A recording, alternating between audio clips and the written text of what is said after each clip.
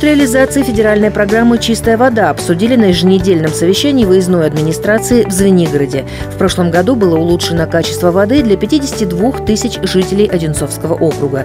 Проведена реконструкция трех ВЗУ – номер один, номер два и семь. А в 2022 году планируется провести проектные работы еще по пяти объектам, которые охватывают 70 с половиной тысяч жителей.